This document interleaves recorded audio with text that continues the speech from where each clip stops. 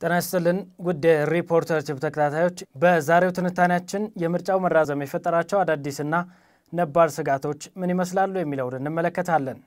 ብሩክ አብዱ እንደጻፈው ስድስተኛው ብሔራዊ ምርጫ በኮሮና ቫይረስ እንዲራዘም ከመወሰኑ አስቀድሞ በርካታ ውዝግቦችንና ክርክሮችን ሲያስተናግድ የነበረ ሂደት እንደነበር የቅርብ ጊዜ ትውስታ ነው። ከምርጫው መራዘም አስቀድሞ ጽንፍ የያዘ የፖለቲካ ምህዳር ባለበትና በተለያዩ የሀገሪቱ ክፍሎች ሊያባራ ያልቻለ የንጹሐን እልቂት ያስከተለ የጸጥታ ችግር ሳለ ምርጫ ማካሄድ የሚያዋጣ ጉዞ አይደለም ሲሉ የነበሩ ምርጫውን ማድረግ ለሚታዩ ችግሮች መፍትሄ መስጠት የሚችል ቅቡል መንግስት ከመመስረት ይልቅ አባባሽ ሚና ይኖረዋል ሲሉ ስጋታቸውን ገልጸዋል። የዚህ ስጋት ተግባራዊ ማሳያ ሊሆን በሚችል ሁናቴ በትግራይ ክልልና በፌዴራል መንግስት እንዲሁም በብልጽግና ፓርቲና በህወሓት መካከል በተለይ የምርጫውን ሂደት አስመልክቶ ሲታይ የነበረው ውዝግብ እየጎላ መጥቶ አንዱ ለሌላው እውቅና መንፈጉ ነው። የትግራይ ክልል የፌዴራል መንግስት ምርጫውን በኮሮና ቫይረስ ምክንያት ሊያራዝም መወሰኑን በመቃወም ክልላዊ ምርጫ በማድረግ ቅቡልነት ያለው መንግስት አቋቁም ያለው ማለቱን ተከትሎ የተፈጠረው ውዝግብም እየተባባሰ ሄዶ ወደ ጦርነት አድጓል። ይህም ጦርነት እስካሁን ከሰብአዊ ቀውሱ በተጨማሪ አገሪቱን በሰው ህይወት፣ በአካል፣ በንብረት፣ በዲፕሎማሲና በወታደራዊ ዘርፎች ዋጋ ያስከፈለና እያስከፈለም ያለ ነው። ነገር ግን ምርጫው ባልተጠበቀው ዓለም አቀፍ ወረርሽኝ ሳቢያ ከመራዘሙ አስቀድሞ ይፋ ተደርጎ የነበረው የምርጫ ሰሌዳ የድምፅ መስጫ ቀን ነሐሴ 23 2012 እንዲሆን በማድረጉ ምክንያት በተለያዩ አካላት ተቃውሞ የገጠመው መሆኑ ይታወሳል።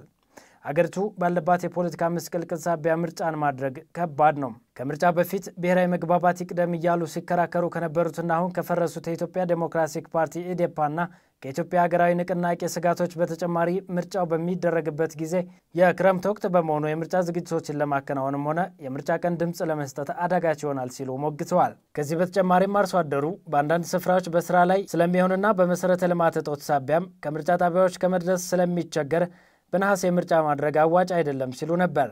ይህ ስጋት ለመራጮች ብቻ ሳይሆን ለቦርዱም የሚሰራ ሲሆን በክረምት የሚሞሉ ወንዞችን ለመሻገርና ጭቃማ የገጠር መንገዶችን አልፎ የምርጫ ቁሳቁስ ለማሰራጨትና ለማስመረጥ አስቸጋሪ እንደሚሆንበት እሙን ነው።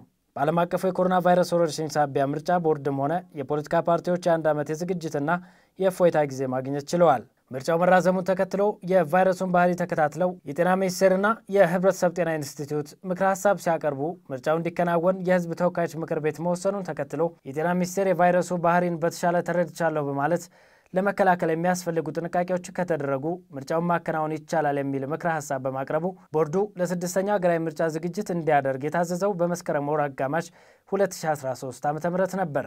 ከዚህ በኋላም ብሔራዊ ምርጫ ቦርድ ታህሳስ 16 2013 አዲሱን የምርጫ ጊዜ ሰሌዳ ይፋ ሲያደርግ በዕለቱ የታደሙ የፖለቲካ ፓርቲ አመራሮችን በሁለት ጉዳዮች ያስጨበጨበ ነበር። የመጀመሪያው ምክንያት ምርጫው አስቀድሞ የነበረው መርሃ ግብር በዝናብ ወቅት በመሆኑ ሳቢያ ለምርጫ ዝግጅትና ሂደት አደጋች ይሆናል በሚል ሲሰማ ለነበረው ስጋት ምላሽ የሰጠ ከአሁን ቀደም ሲደረጉ የነበሩ ምርጫዎች ሲደረጉበት ወደ ነበረው ግንቦት ወር የመጣ በመሆኑ ሲሆን ሁለተኛው ደግሞ በፖለቲካ ፓርቲዎች ምዝገባ ወቅት በታየ የፊርማ ማጣራት ውጣ ውረድ ምክንያት የፖለቲካ ፓርቲዎች ለእጩዎቻቸው የድጋፍ ፊርማ ማሰባሰብ እንዳይጠበቅባቸው ቦርዱ ለፓርላማው ጥያቄ ማቅረቡ መገለጹ ነበር። ግንቦት 28 2013 የድምፅ መስጫ ቀን እንዲሆን የተቆረጠለት ስድስተኛው ምርጫ ከፍ ያለ መራጮች ቁጥር ሊኖርበት እንደሚችል የተገመተ ሲሆን ቦርዱም 50 ሚሊዮን መራጮችን በመመዝገብ ከአሁን ቀደም ከነበረው የመራጮች ብዛት ከፍ ያለ ሕዝብ እንዲመርጥ ለማድረግ በዝግጅት ላይ ነበር። ሆኖም በምርጫ መርሃ ግብሩ ላይ የተመለከቱት ተግባራት በጊዜያቸው እንዳይከናወኑ የተለያዩ ተግዳሮቶች ሲገጥሙ ቆይተው በስተመጨረሻም የድምፅ መስጫ ቀን እንዲራዘም አድርጓል።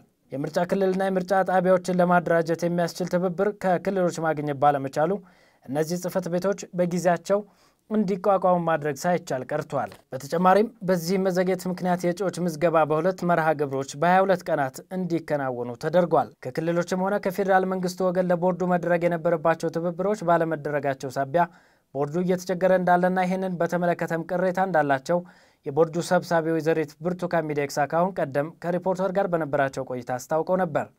ስለዚህም ከዚህ ምርጫ ሂደት መወሰድ ያለበት ትምህርት ክልሎችም ሆኑ በተለያዩ ደረጃዎች የሚገኙ የመንግስት አደረጃጀቶች የምርጫ ዝግጅቶች በቦርዱ ሲጀመር አብረው መጀመር እንዳለባቸው ይህንንም ማድረግ እንዲቻል የሕግ ማዕቀፍ ማዘጋጀት ሊያስፈልግ እንደሚችል ጠቁመው ነበር። በዚህ እየተገፋፉ በቆዩ የምርጫ ሰሌዳ ተግባራትና የመራጮች ምዝገባም በተደጋጋሚ በመራዘሙ ምክንያትና በጸጥታ ችግሮች ሳቢያ እስከ አርብ ግንቦት 13 ድረስ የመራጮች ምዝገባ እየተከናወነ የነበረባቸው አካባቢዎች ነበሩ።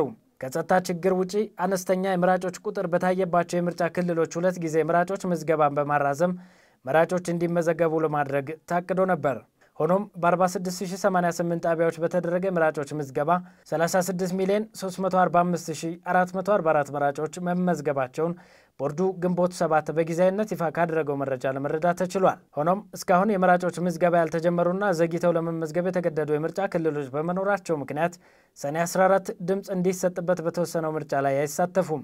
እነዚህም አራቱ የወለጋ ዞኖች ምስራቅ ወለጋ፣ ምዕራብ ወለጋ፣ ቄለም ወለጋ እና ሆሮ ጉድሩ ወለጋ፣ የቤንሻንጉል ጉሙዝ ክልል ከማሽና መተከል ዞኖች እንዲሁም የአማራ ክልል የኦሮሞ ብሔረሰብ ዞን ሲሆኑ እስካሁን በጸጥታ ችግሮች ሳቢያ የምራጮች ምዝገባ አልተጀመሩም። ከዚህ በተጨማሪም የአፋርና የሶማሌ ክልል የምርጫ ጣቢያዎች የምራጮች ምዝገባ እያከናወኑ የሚገኙ ዘግይተው ነው። እንዲሁም በሶማሌ ክልል የሚገኙ ሰባት የምርጫ ክልሎች በፖለቲካ ፓርቲዎችና በተለያዩ የመገናኛ ብዙኃን ቅሬታዎች የቀረቡባቸው በመሆናቸው ሲያከናውኑ የነበሩትን የምራጮች ምዝገባ ሙሉ ለሙሉ አቋርጠው የቦርዱን ውሳኔ እንዲጠብቁ ተደርጓል።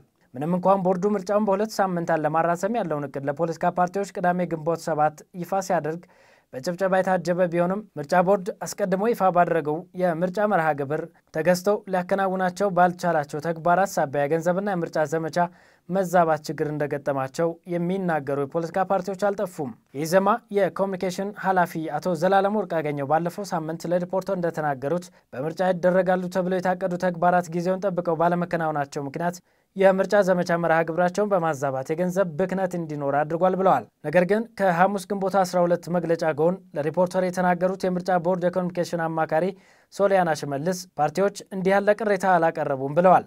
በምርጫ ሰሌዳው መዛባት ሳቢያ ለሚያጋጥማቸው ተጨማሪ ወጪ ለፖለቲካ ፓርቲዎች በሚሰጠው ገንዘብ ላይም ተጨማሪ ድጎማ ለማድረግ በጀት የለም ሲሉ አስታውቀዋል። ቦርዱ በተቀረው ጊዜ 106345 የምርጫ አስፈጻሚዎችን በመቅጠር በእያንዳንዱ የምርጫ ጣቢያ የሚሰሩ አስፈጻሚዎች ቁጥር ወደ አምስት እንዲያድግ እንደሚያደርግ ሶሊያና የተናገሩ ሲሆን ይህም እስካሁን የመራጮች ምዝገባ ሲያካሄድ የነበሩትን አጠቃላይ የምርጫ አስፈጻሚዎችን ቁጥር ከ138655 ወደ 245000 ከፍ ያደርጋል። ከዚህ በተጨማሪም በሚቀጥሉት አስር ቀናት የድምፅ መስጫ ወረቀቶች ህትመት ተጠናቆ ወደ ሀገር ውስጥ እንደሚገባና ስርጭቱን በአራት ሳምንታት ጊዜ ውስጥ እንደሚጠናቀቅ ያስታወቁት አማካሪዋ ለዚህ የሚያግዝ የትራንስፖርት እቅድ አዘጋጅተው ለመንግስት ማቅረባቸውን ተናግረዋል። ለዚህም እንደ አስፈላጊነቱ የአየር፣ የየብስ፣ የውሃና የጋማ ከብት የትራንስፖርት ዘዴዎች በመጠቀም የምርጫ ቀን ቁሳቁሶች እንደሚሰራጩ ገልጸዋል። ይሁንና የዝናብ ወቅት እያየለ የሚመጣበት ጊዜ ላይ ምርጫ ማድረጉ ራሱን የቻለ አዳጋች ሁኔታ እንደሚፈጥር አልሸሸጉም። ክረምት ለእኛ ትልቁ ተግዳሮት ነው። ከአሁን ቀደም በተሰረዘው የምርጫ የጊዜ ሰሌዳ ላይም ሲነሳ የነበረ ጉዳይ ነው በማለት በቦርዱ ተጨማሪ ጫናዎች ይኖራሉ ብለዋል። የብሔራዊ ሜትሮሎጂ ኤጀንሲ በቅርቡ ይፋ ባደረገው መረጃ መሰረት ከግንቦት ወር አጋማሽ ጀምሮ በአንዳንድ የሀገሪቱ አካባቢዎች ከፍተኛ የዝናብ መጠን የሚከሰት መሆኑንና ይህም አስቸጋሪ ሊሆን እንደሚችል አስታውቀዋል። ኤጀንሲው በኦሮሚያ ክልል ሁሉም የወለጋ ዞኖች፣ ጅማ፣ ኢሉ አባቡራ፣ በቤንሻንጉል ጉሙዝ ክልል፣ በአማራ ክልል ሰሜንና ደቡብ ወሎ፣ ምዕራብ ጎጃምና የባህር ዳር ዙሪያ፣ በሲዳማ ክልል መደበኛና ከመደበኛ በላይ ዝናብ፣ በዚህም ሳቢያ በአንዳንድ አካባቢዎች የመሬት መንሸራተት፣ ጎርፍና የመሳሰሉ ተጽዕኖዎች ይኖራሉ ብለዋል። ውድ ሪፖርተር ቲቪ ተከታታዮች የዛሬውን አበቃን። መልካም ጊዜ